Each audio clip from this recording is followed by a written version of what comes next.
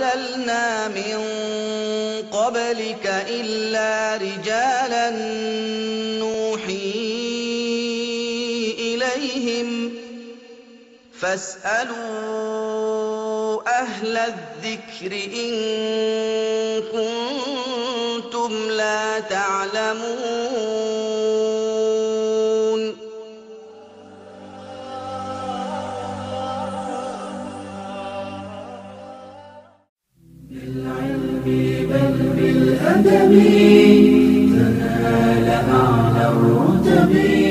Aljawabul Kafi, jibu lenye kutosheleza, ni kipindi kitakachokupa jibu lenye kutosheleza juu ya masuala ya kidini na kisheria yanayokutatiza katika maisha yako. Uliza swali moja kwa moja na utajibiwa papo hapo.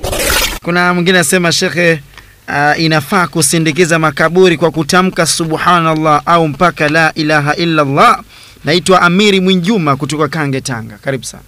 Naam, hili wamelizungumza wanachuoni muda mm. mrefu sana. Sahi. Sema unajua mambo ya uzushi funguo zake zimepotea baharini, lango lake liwazi, kila mmoja unaona eh? na hoja zatolewa nyingi ambazo hazina mashiko, lakini ukweli ni kwamba hili jambo la kusindikiza jeneza na sauti yoyote, wachilia mbali sauti ya dhikri Mm. iwe la ilallah subhanallah, sauti ya aina yote inatakiwa, sunna hasa watu kuwakia kimya, kuwa kimya kabisa, Ndio. wakielekea makaburini, wawe wanakumbuka mauti na akhira. Mm.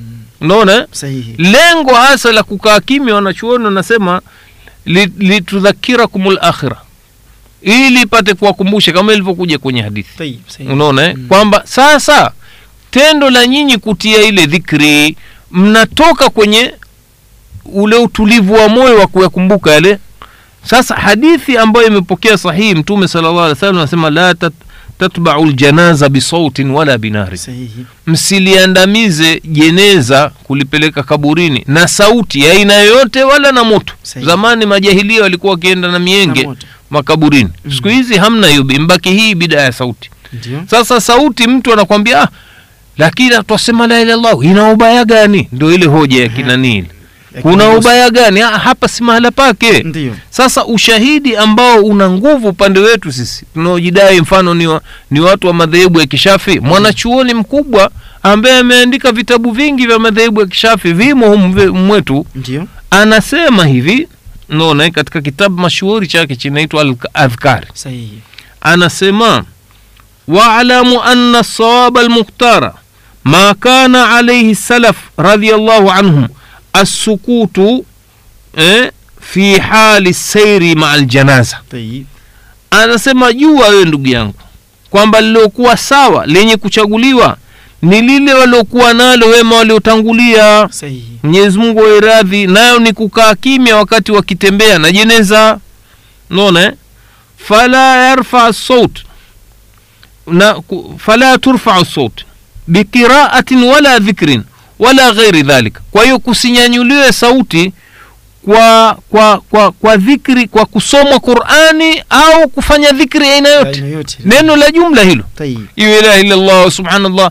Anasema haifai. Walhikma fihi dhahira. Na hikma ya huku kaa kimya ni jambo liko wazi sana. Wahiya annahu askan eh, likhatirihi inatuliza zaidi mawazo yake kwa nini kwa kule kufikiria mauti na, na, na akhira e, wa, wa ajma lifikri kwa hiyo inakusanya fikira zake zina mwelekeo ule ule wa kukumbuka akhira Ndio. anasema wa huwa almatlubu fi hadhihi lhal na hili ndio jambo linalotakiwa hasa katika hali kama hii Sahihi. unaona eh? fahadha huwa lhaqu na hii ndiyo haki Sahihi. wala, yughta, eh, wala, wala takhtaru bikathrati eh, mukhalifin. Asema usibabaishwe ukaghurishwa na wingi wa watu wanaokhalifu jambo hili. Na kweli umwetu watu wengi wanakhalifu. Ukiwaambia watu wasa, ah, mbona watu wote wasema la, ilaha illallah la ilaha ah, nyinyi nanyi naye mmezidi bwana. Unaona eh? ah, ah, asa, sasa imam nawe asema ah, usibabaishwe na wingi wa watu wanaokhalifu. Sahihi. unaona eh? faqad qala eh, abu ali alfudail ibn, ibn ayad amesema mwanachuoni mkubwa huyu eh, fudail bni ayad rahimahullah anasema maana yake maneno yake alisema ilzam tariqa lhu- lhuda wala yadhuruka qillatu salikin. Fuata njia za uongofu. Unaona eh? wala usi, usibabaike na nini e, wingi wa watu ambao wana, wanafuata njia hiyo. Unaona kwa hiyo utakuta akatoa tena maelezo wa iyaka waturuku dhalala na ole wako na kufuata njia za upotovu. Wala taktar, taktaru bikathratu lhalikin usibabaishwe na wingi wa watu waliofanya upotovu. Sayi. kama hii hali tulionayo hivi sasa kuna watu wajingauja ah, mbona watu wengi? Mbona watu wengi? Wasoma hitma mbona watu wengi? ah, ah, angalia huyu mwanachuoni wetu. Ndio sahihi. Huyu si wahabi kama wanavyodai watu wengine. Ndiyo. Ah, mwanachuoni wa madhehebu ya imamu ashafi rahimahullah naam Kwa hayo na mengineyo mengi, usikose kusikiliza kipindi cha Aljawabul Kafi. Tutakuwa naye Sheikh Salim Barahiani kila siku ya Jumatano saa tatu na nusu za usiku na marudio yake ni siku ya Jumatatu saa nne za asubuhi. Radio Ihsan FM, tochi ya jamii.